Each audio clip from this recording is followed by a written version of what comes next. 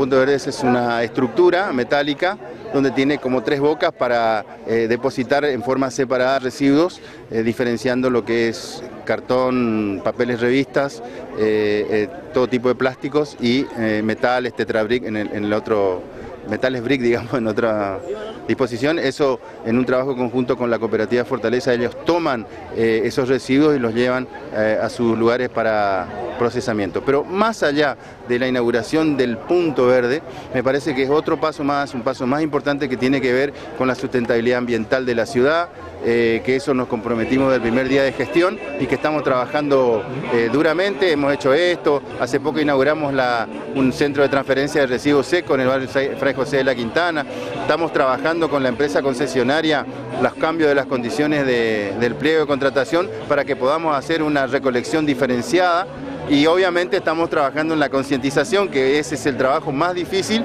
que lleva tiempo, pero que nosotros lo asumimos y lo estamos encarando. Más allá de la concientización, se sabe que somos hijos del rigor. ¿Hay sanciones para quienes arrojan basura en cualquier lado? Hay este, ordenanzas, hay multas, eh, se está multando, pero bueno, es imposible eh, multar y controlar una ciudad de casi 400.000 habitantes y tan extendida como corriente. Pero eh, se ha hecho en muchos lugares del mundo, así que acá tenemos que hacerlo. Lo que acá faltaba era la decisión, tomarlo como política de Estado.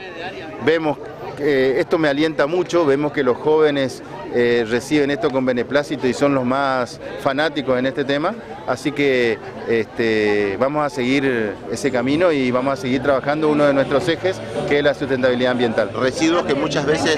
¿Está previsto implementar esta propuesta en otros puntos de la ciudad? Sí, sí, eh, acá quiero destacar eh, que acá compró el, y mandó a hacer, mejor dicho, el, punto verde el empresario Lazaraf de la Shell de la esquina, estamos en Plaza Libertad para los que no, no saben.